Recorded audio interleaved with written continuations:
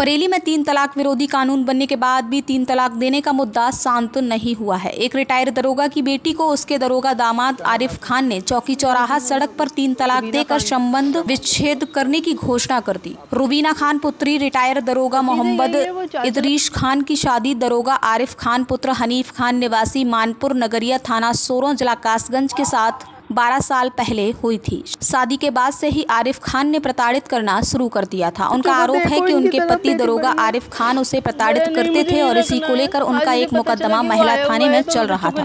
उसी सिलसिले में आज वो अपने बच्चों के साथ महिला थाने पहुँची तो उन्हें चौकी चौराहे पर देखा कि उनके पति दरोगा आरिफ खान की क्रेटा गाड़ी खड़ी है उन्होंने तीन सेड में ले जाकर अपने पति से बात करना चाहिए तो पति इसी बीच उसके पिता इदरीस खान और एक रिश्तेदार भी आ गए आरिफ खान खान उत्तेजित हो गया और उसने गुस्से में आकर रुबीना खान को तीन तलाक दे दी और कहा कि मेरा तेरा कोई संबंध नहीं है। या मैंने दूसरी शादी कर ली है पिता के मुँह से तीन तलाक शब्द सुनकर उसके बच्चे रोने लगे और कहा कि पापा ऐसा ना करो लेकिन आरिफ खान नहीं माना और उसने सबके सामने तीन तलाक कहकर संबंध विच्छेद की घोषणा कर दी। पति से यही है वो चाल चलन उसका गलत है। शुरू से ही हम रोकते रहे छुड़ाते रहे अलग अलग महिलाओं से कभी किसी से कभी किसी से छुड़ा रहे हैं।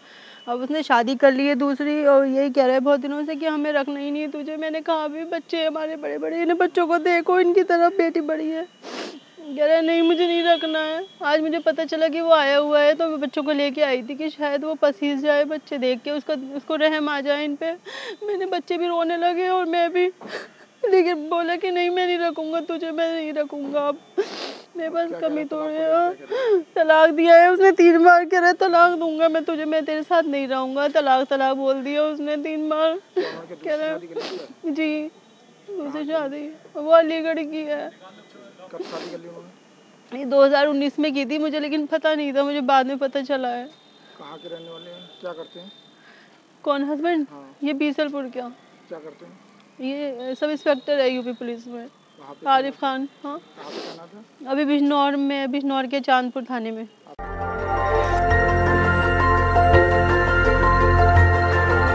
देखते रहिए डीबी भारती समाचार।